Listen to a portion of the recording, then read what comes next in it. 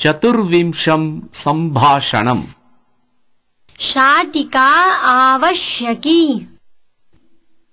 मम ते किं करोति भवती? आगच्छति किम्? कुत्र गच्छसि?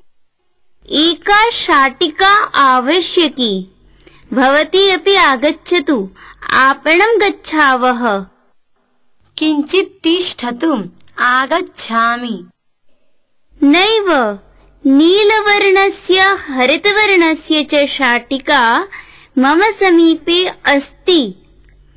पाटलवर्णस्य पीतवर्णस्य वा इच्छामि।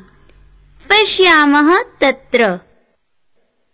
कति रूप्यकाणां शाटिकां स्वीकरोति भवती?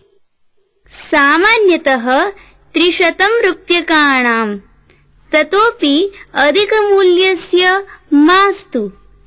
मम माता मम निमित्तम् एकाम् आनयति। सा श्वेतकृष्णवर्णयोः मिश्रिताम् एकां शाटिकां स्वीकृतवती।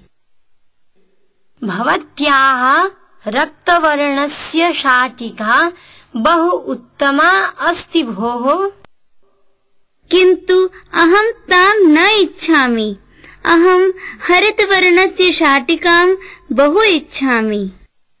अस्तु आपणे याम् इच्छति तां स्वीकरोतु